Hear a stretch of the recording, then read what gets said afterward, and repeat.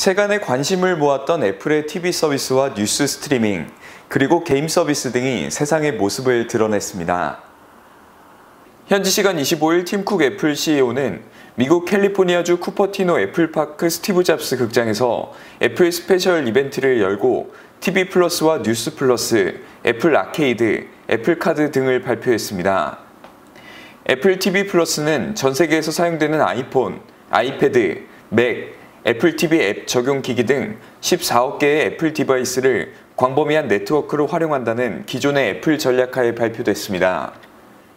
이번 공개한 뉴스 플러스는 9.99달러의 월스트리트, LA타임즈 등의 신문과 300여 종의 잡지를 읽을 수 있는 서비스인데요. 뉴스 플러스는 아이폰과 아이패드에서 이용할 수 있는데 구독자들이 어떤 기사를 읽었는지 추적할 수 없고 광고 업체들도 이 정보를 활용할 수 없습니다. 또한 애플은 새로운 게임 구독 서비스인 애플 아케이드도 함께 선보였습니다.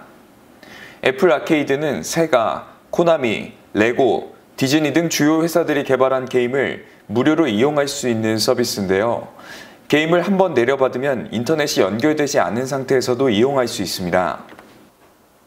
애플의 이 같은 서비스 공개는 넷플릭스와 구글 등의 기업에 뒤처지지 않는 콘텐츠를 생산해 소프트웨어 시장에서도 결코 밀리지 않겠다는 의지로 풀이됩니다.